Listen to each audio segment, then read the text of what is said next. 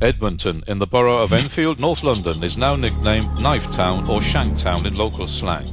Since January 1, 2008, a spate of fatal stabbings has typified the increase in violent crime across London. Here in Plevna Road on New Year's Day, the first fatal attack occurred, and by May the 14th, a total of five fatal stabbings took place, four of them teenagers. Across London, there have been 79 violent incidents, 33 of them fatal. Despite several attempts, no one spoken to in the Edmonton area was willing to make a comment on camera, or even to have their voice recorded.